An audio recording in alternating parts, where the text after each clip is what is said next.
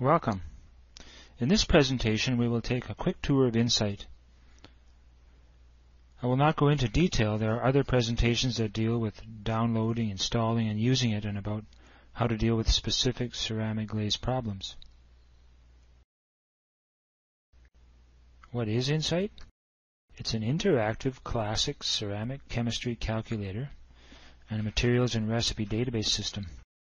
This is the recipe window, the home page. You can compare and edit side-by-side -side recipes here. This side-by-side -side approach is fundamental to the relative rather than absolute approach we take to ceramic chemistry. You can edit individual recipe lines using these controls. The chemistry calculates here, and other calculations are shown here. You can control the way calculations are done here, and you can maintain de detailed information about individual, individual recipes in these tabs, and you can save and search and open recipes using these. Anyone can create an account at Digital Fire and download Insight. It will run for two months before expiry. This is the OS X version. Insight is also available for Linux and of course Windows. Notice this one has the two-month evaluation message. Insight works the same on all platforms and can interchange all of its files, even the database file. We try to keep the user interface stable since it's very widely used and taught. Before proceeding, I'm going to open a recipe by clicking here. This is the Recipe Database dialog. It is a window into Insight's integrated superfast database called SQLite from sqlite.org. I can do complex searches in the database using these controls. This button deletes a recipe. I can click the column headers to sort the list and I can adjust column widths. This checkbox transforms the dialog to show more detail on each recipe. You can even make some changes and save here. This dialog is resizable. I can grab an edge and make it larger. I'm going to switch back to normal view and make it taller now.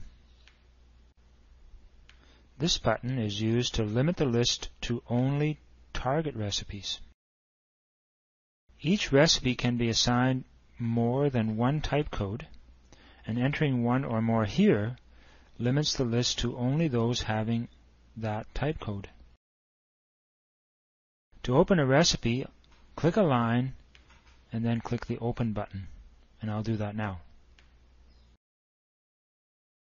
Now I have it open in the recipe window. It displays in column 1 of the recipe list. Side-by-side -side recipes share one material label column, but each has its own amount column. You can select a recipe line by clicking it. You can move a line by dragging it. When you select a line, the Edit Recipe Line area receives focus automatically to enable editing of that line. This column displays line status characters that you will learn more about later. Now I'm going to double-click the first line in this recipe.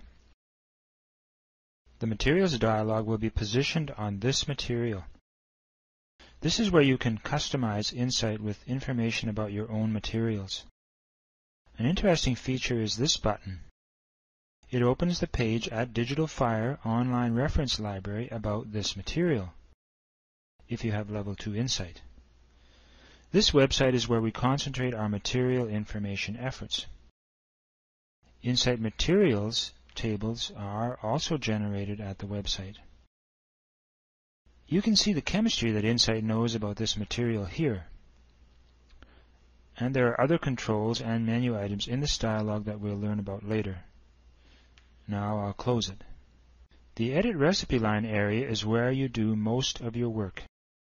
Each line has a label, a materials lookup that Insight uses to find chemistry information, an amount, and a tolerance, which is only used for entering target or limit formulas, and an added status checkbox.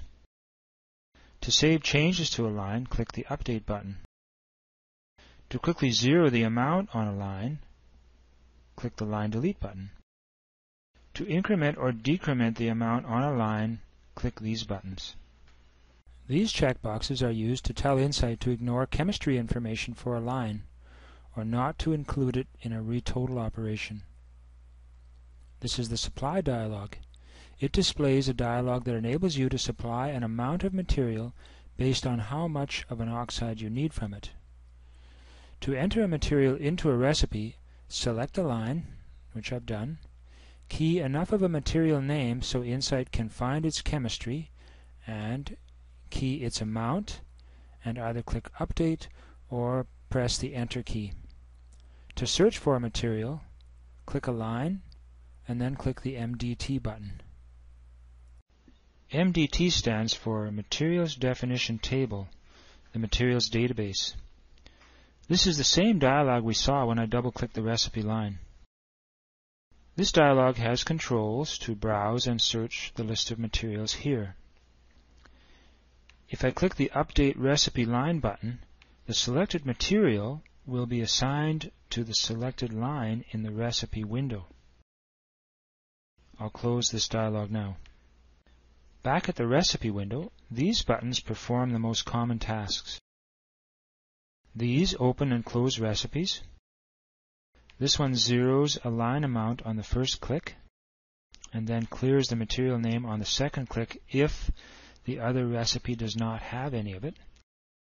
This one prints reports. This split button indicates when recipe 1 or 2 needs saving and initiates the save if clicked. These are red if the respective recipe is locked this displays a dialog that enables you to copy, move, or add one recipe to the other. I'll click it to copy recipe 1 to recipe 2 now. This dialog pops up and I'll click the Copy Right button. Notice that Insight has copied recipe 1 to recipe 2. The formula list on the lower right is where Insight displays the side-by-side -side calculated formulas or analyses of the recipes above. There is a direct relationship between these numbers and the fired properties of the glaze. You can click any line to highlight it. This checkbox switches to three decimals of accuracy, and this one combines sodium and potassium totals. The status of these is remembered from session to session. This button selects the recipe material contributing the greatest amount of the oxide selected in the formula list. Double-click a formula line to display the oxides dialog. This dialog manages oxide data and has more controls that shape the way calculations are done. The thermal expansion for this oxide is recorded here. You can insert delete, and find individual oxides using these controls. But remember that an oxide is a column in the materials definition table. Deleting or changing one affects every material containing that oxide. These controls affect the results in ratio and unity calculations. An interesting feature is the Info button. For Level 2 users, it opens up a page at the Digital Fire Reference Library where you can learn all about what this particular oxide does in fired glazes. I'll press the Done button now. Back at the recipe window, notice this button above the formula list. It opens the recipe database window where you can search for and select a target or limit formula for display as a third column in the formula list right beside the other two. I'm going to click it now.